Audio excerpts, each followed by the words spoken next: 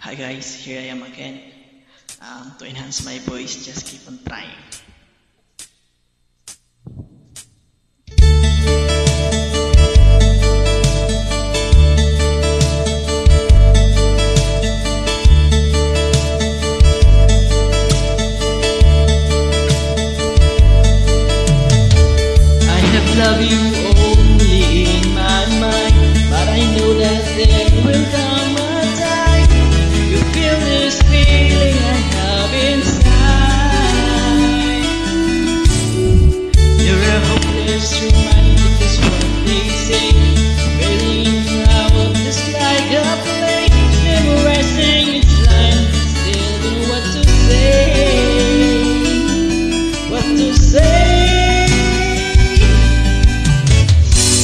to do